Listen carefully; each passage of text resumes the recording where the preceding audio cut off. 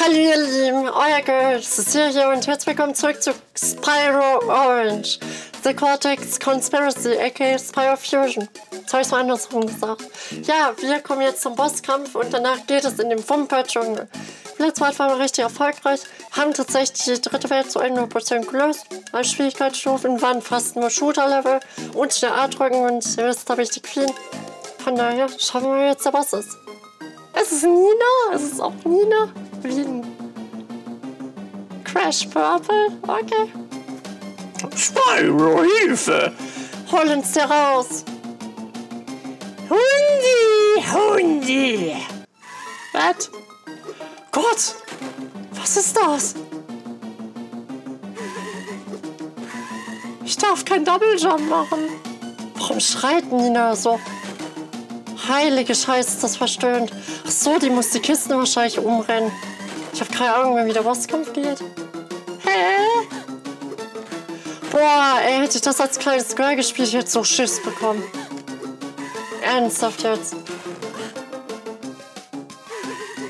Warum schreit die so? Hilfe! Ich will das nicht mehr spielen. Ich bin tot! Was muss ich tun? Oh, ich verstehe das nicht. Oh nee. Also ich muss die Kisten wegrennen. Coco und der Professor die waren jetzt schon befreit. Aber was muss ich dann tun? Ernsthaft, was muss ich dann tun? Das Spiel ist so kryptisch. Ernsthaft, was muss ich tun? Und die läuft doch nicht äh, gegen die Kisten, wenn du nicht im letzten Moment über sie rüberspringst. Ist das kacke? Hey lol. Oh mein Gott, wie habe ich das da eben so gut geschafft? Eben habe ich das richtig souverän geschafft. Schaffe ich das überhaupt nicht mehr. Los, Nina. Du willst es auch. Jetzt sind beide Kisten weg. Jetzt kann ich den Kamin anheizen. Dann gehen die Stacheln da hoch. Ja, und dann? Was habe ich davon? Was habe ich davon, wenn die Stacheln hochgehen? Ernsthaft.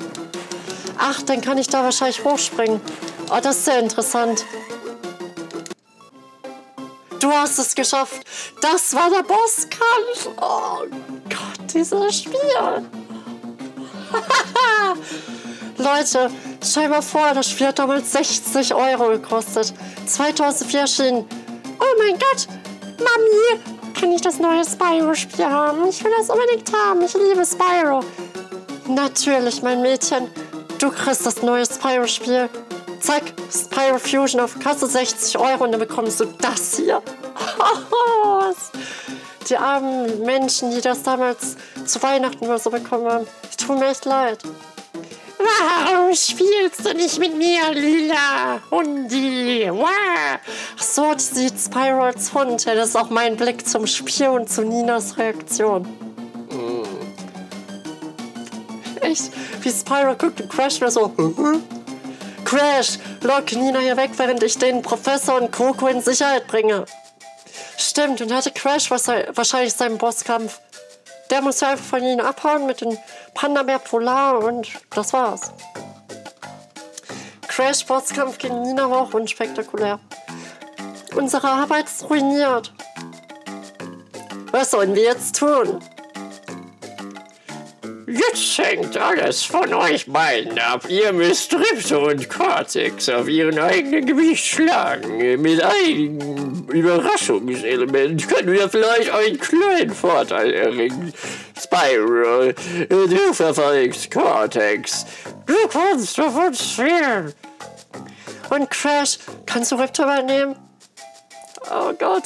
Wir müssen jetzt Cortex vernichten und ja, Crash zerstört Riptor, wie wir es auch schon gemacht haben. Crash Bandicoot Purple. Pass auf die Laborassistenten auf, die sich in den Büschen verstecken. Die werfen mit explosiven Kokosnüssen. Das ist Easter Egg an Spyro 2. Diese Welt, wo meine Füße wo Hänsel und Gretel sind, da gab es ja so eine Mission, wo man Jäger beschützen muss vor Affen, die mit Kokosnüssen werfen. Die werfen mit Kokosnüssen nach mir, Spyro. Das tut weh. Das war wirklich so dämlich synchronisiert, Leute. Lacht nicht. Ja, und sag bitte nicht, hey, warum synchronisierst du so blöd? Cecil? Weil der selber so blöd synchronisiert vor dem Deutschen von den Entwicklern. Von Insomniac Games. Riptox und Raketen, das ist halt so dämlich synchronisiert, dass das schon wieder liebenswert ist, finde ich. Riptox und Raketen. Nein! Ich will sterben, ich will nicht mehr leben und ich hasse alles. Ich hasse meinen Job als YouTuberin. Ich hasse die Welt, ich hasse alles jetzt. Nee, also das. Nee. Also dieses Auto, das fand ich schon immer schrecklich.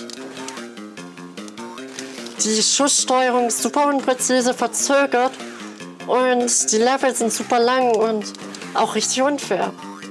Zumindest in Schwierigkeitsstufe 2 und 3 war das richtig unfair. Das war schon wieder ein Leap of Faith. Das war schon wieder so ein blöder Blind Jump. Ich hasse es. Warum kommt das so oft vor in dem Spiel? Was sind das für komische Ranken? Seriously, das ist schon wieder so schrecklich. Ich finde die ersten Level hier jetzt schon schwer. Aber irgendwie passt das. Wir sind jetzt im Dschungel mit so einem Safari-Jeep. Gut, die Raketen passen jetzt nicht, aber von der Atmosphäre passt es. Ins Schloss von Spyro zum Beispiel hat der Jeep überhaupt nicht gepasst. Das war ja das erste Minispiel, was wir jemals gemacht haben im Let's Play. Und jetzt in der letzten regulären Welt. Da kommt es erst wieder. Weil die letzte Welt heißt nur frei, also ein Tech-Park, wenn du wirklich alles geschafft hast, alle Schwierigkeitsstufen. Was wir auch tun. Sollen wir keine Level mehr enden?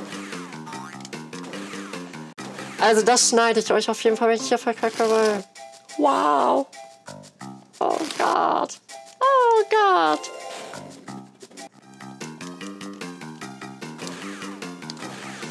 Ach so, oh, das ist aber süß. Das sind die Pflanzen aus Crash Bandicoot. Das ist jetzt ja auftauchen, finde ich echt cool. Weil ich meine, wir sind im Dschungel von Crash Bandicoot. Wir sind jetzt zwar auch Rhinox, was halt passt, weil es Crash Bandicoot Fusion ist, aber die Pflanzen gehören viel in den Crash Bandicoot Dschungel rein. Finde ich cool. Das gefällt mir wieder. Das gefällt mir. Juhu, Blind Jump. Macht Spaß.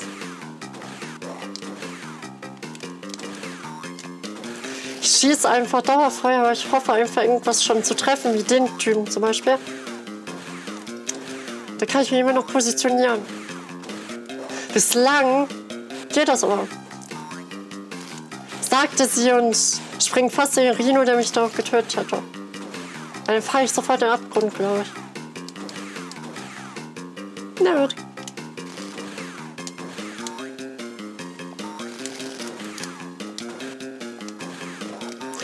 so, wenn ich nur ganz leicht auf die Taste drücke, dann mache ich immer den schwachen Schuss. Das ist sehr interessant. Wenn ihr gedrückt halt, macht ihr immer einen weiten Schuss. Hat das etwas damit zu tun, von wegen, ja, ich drücke jetzt voll weit nach rechts, voll weit nach links? Nö. Muss nur tappen. Okay, vielleicht durch diese Erkenntnis habe ich jetzt weniger Probleme mit dem Leveln. Hey, das war leichter als der erste Level. Not gonna lie. Jetzt bin ich mal gespannt, was der letzte zu bieten hat. Höchstes Schwierigkeitsgrad. Oh nein, Minen im Dschungel, genau. That makes sense. Not really. Gott, war das knapp. Noch irgendwie schwere Sprünge, bitte? Ist mir nicht schwer genug. Oh Gott. Nein! Autschi. Not. Lieber so getroffen als in den Abgrund fallen, ich immer. Blind Jump. Cool. Cool. Nicht cool. Nicht cool. Oh nee. Der Level geht noch verdammt lang, richtig? Ja. Ich bin jetzt schon fast tot. Okay, jetzt darf ich in keine Mine mehr fallen, in keinen Rhino mehr rein. Oh Gott, Mädchen. Du das hinkriegst.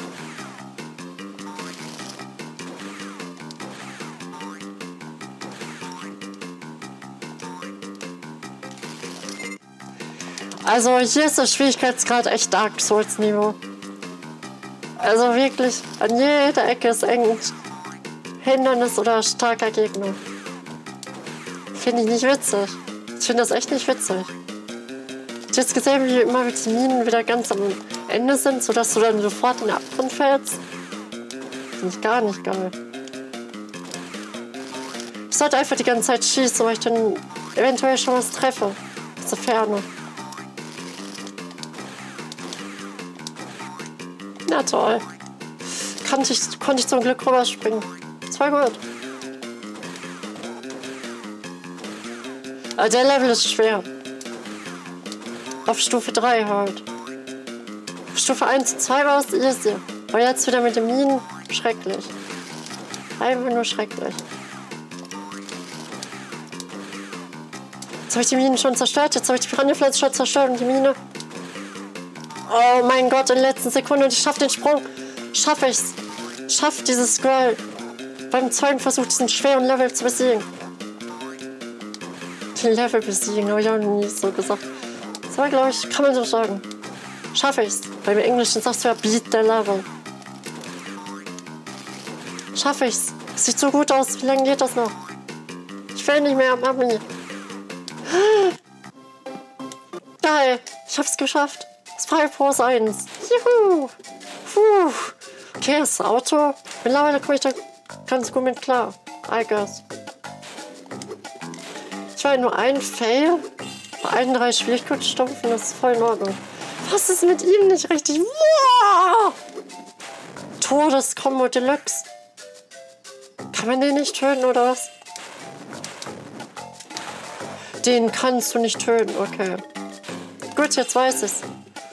Suchst du was Besonderes, Pyro? Und du was Besonderes hast. Bodenspieß. Der Bodenspieß ist was Besonderes. Wage es zu bezweifeln.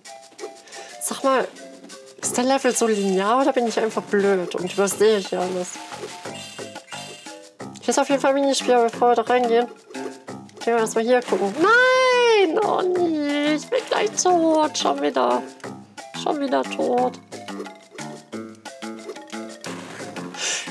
Die Pflanze kann man gar nicht töten.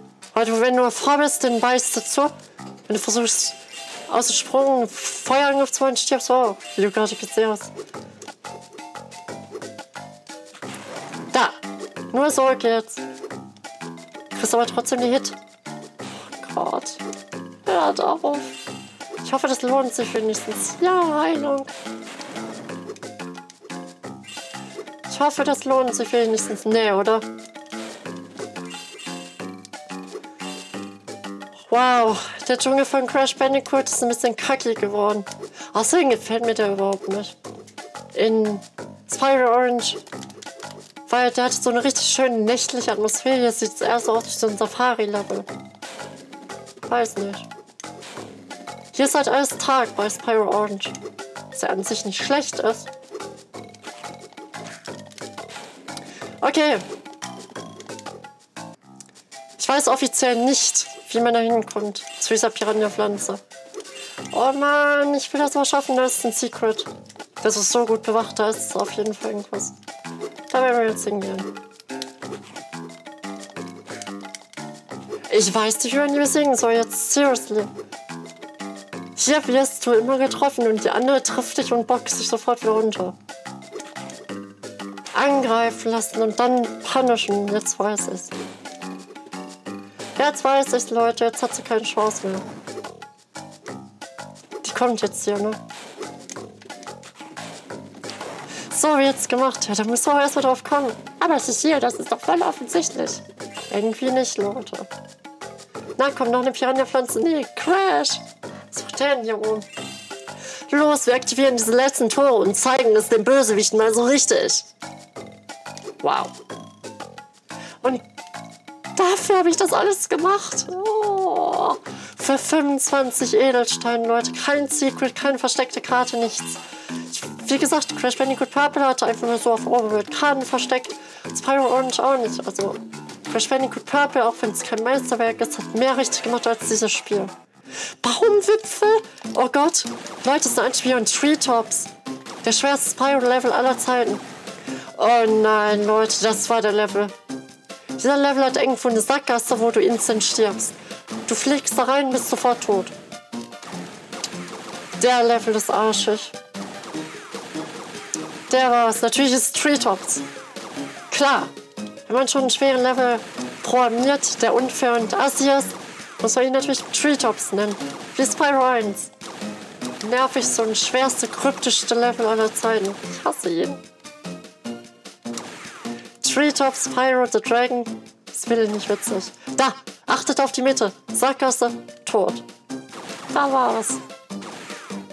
Sprich, bei den Leveln nie mittig halten. Oh Gott, im ersten leichten Abschnitt gibt es schon die Typen von Cortex mit Laser. Gott. Und das, obwohl es jetzt Treetops heißt, ist so ein Ruin-Level. Typisches Crash Bandicoot Ruin-Level. Das ist eigentlich ganz witzig.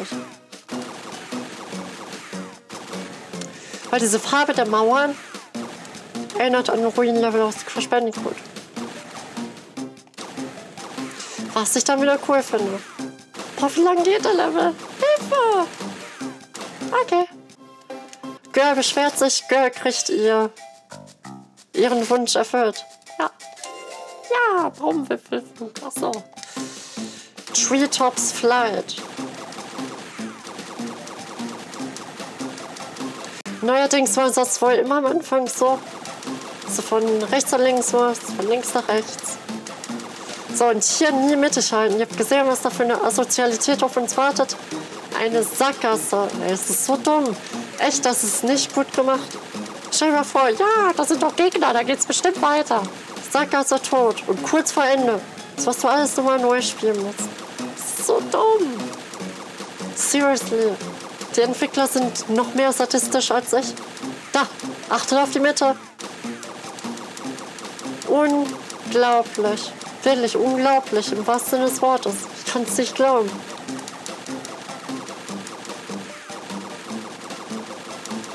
Aber wenn man das weiß, ist der Level eigentlich relativ einfach. Und so mit diesen... Okay. Ich wollte gerade sagen, mit diesen Flugleveln habe ich eher nicht so Probleme und dann habe ich auf einmal Probleme. Irgendwie ist der Part scheiße.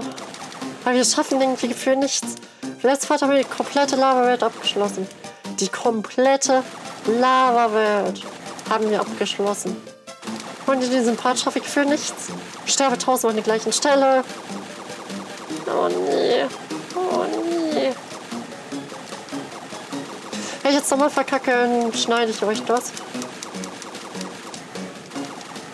Weil irgendwann muss es ja auch weitergehen. Zumal wir diesen Level nochmal machen müssen. Aua, ich bin gleich schon tot. Ich den Level gleich nochmal mal auf höchstes Schwierigkeitsgrad. Ich bin wenigstens so froh, dass du, wenn du ein Level erwischt wirst und den Level trotzdem schaffst, wieder volle Energie hast. Stell dir mal vor, es wäre nicht so. Wäre dem Spiel zuzutrauen gewesen, ja. Nee, ich habe keine Lust zu schneiden. Ihr müsst jetzt genauso leiden wie ich. Echt. Nee, echt. Nehme ich jetzt mal mit. Boah, nee, nevermind. Der Level ist knallhart. Gnadenlos knallhart. Ich hoffe, das ist der letzte Level dieser Art. Wovon träume ich eigentlich nachts? Es gibt noch eine komplette Welt und wir haben auch erst die Hälfte von... Nee, wir haben nicht mal die Hälfte von der Funke-Insel geschafft. Bedeutet, es gibt bestimmt noch mindestens zwei Schusslevel. Mindestens. Oh, ich hasse die. Ich muss mich, glaube ich, auch mehr konzentrieren, wenn ich die ganze Zeit laber. Denn ähm, reagiere ich so spät und wenn du halt von links nach rechts musst, ist es halt ein bisschen tricky.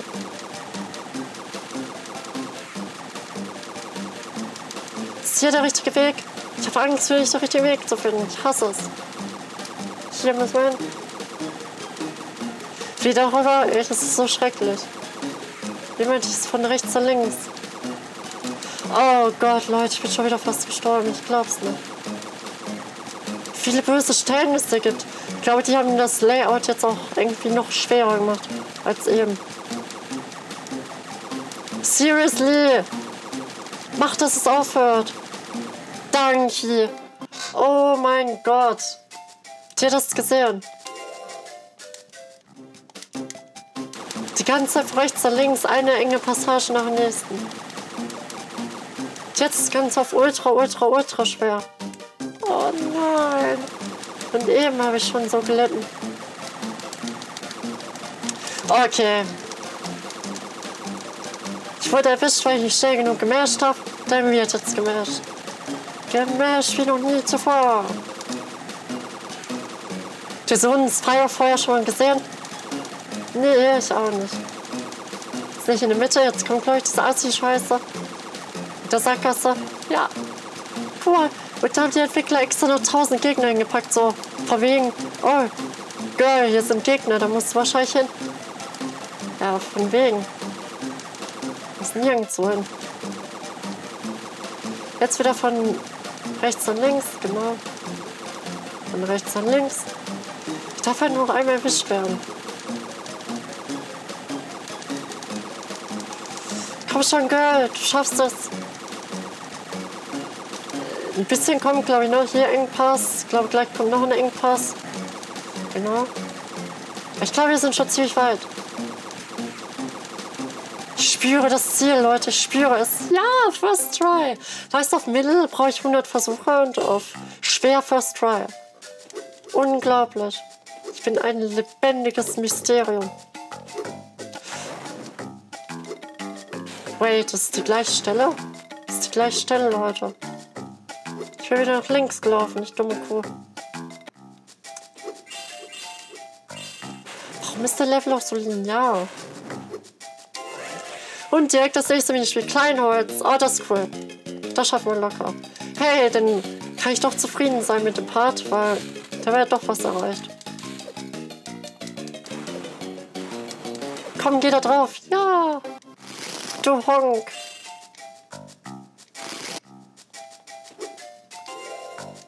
Kleinholz. So richtig dschungelmäßig sehen die Level gar nicht aus. Ne? Ich hoffe, wir kommen noch tiefer in den Dschungel, wenn wir in Abschnitt Nummer 2 sind. Echt. Das ist ein bisschen zu wenig für mich mit Dschungel. Tschüss. Boah, die Minispiele richtig gut. Das macht auch Spaß. Das kann ich mir richtig lustig vorstellen, wenn man es zu zweit spielt. Ist zwar so ein Fortnite-Abklatsch, aber hey. Fortnite hat hiervon abgeguckt, Leute. Jetzt wisst ihr Von Spyro Orange. Diesem mega krassen Meisterwerk. Alles zerstören. Komm, reparier das mal. Girl. Reparier das mal. Ja! Oh Gott. Es war ein langer Fight. Auf am Ende haben wir gesiegt. Juhu. Okay. Oh Gott, hebt die Felsen.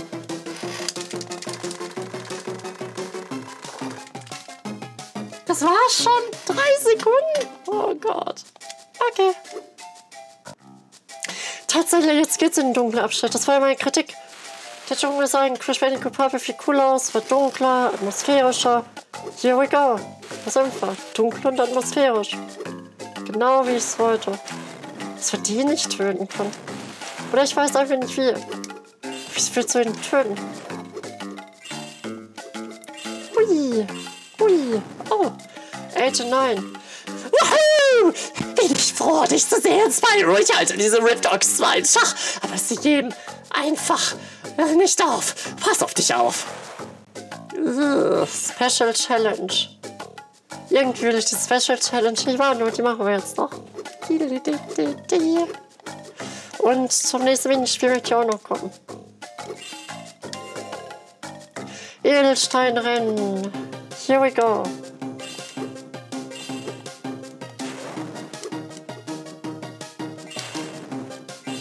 Okay, die Piranha-Pflanzen sind gar nicht so aggressiv, wie man es von denen gewohnt ist.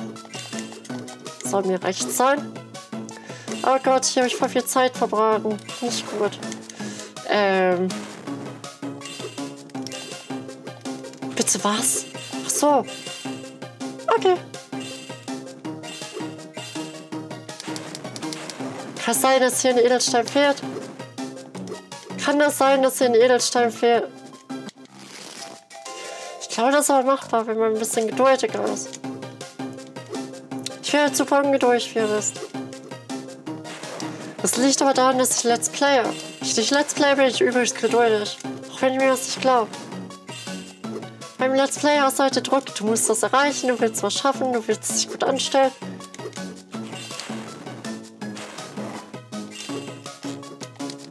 Das heißt, da gehe ich jetzt runter. Ich glaube, wir haben es. Was waren die zwei Steine eben fehlten? Hey, das ist voll easy. Wenn man weiß, wie es geht. Dafür bekommen wir 100. Einfach verdoppelt. Cool. Stirb. Oh Gott. Was für nervige Gegner. Oh Gott, die fleischfressenden Pflanzen sind überall. Gut, das ist auch der Dschungel von Crash Bandicoot. Die sind halt hier überall. Okay, Dog. Rip Talk X beim nächsten Mal. Daumen, falls euch gefallen hat, falls nicht, könnt ihr es wieder gerne favorisieren und ansonsten sehen wir uns beim nächsten Mal. Stay awesome. Eure Cecilia. Ciao. Oh, hallo, du bist ja immer noch da. Freue mich, dass du mich nicht einfach so im Stich gelassen hast und das Video bis zum Ende geschaut hast. Dich habe ich ganz besonders lieb.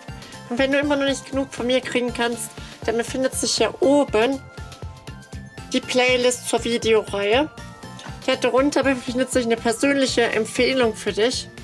Und hier kannst du abonnieren, um nichts mehr zu verpassen. Außerdem kannst du natürlich mir auch noch auf den Social Media folgen. Bei Instagram, bei Twitter, bei Discord und bei Facebook und auch bei Twitch. Alle Links in der Videobeschreibung oder auf meinem Kanal. Viel Spaß!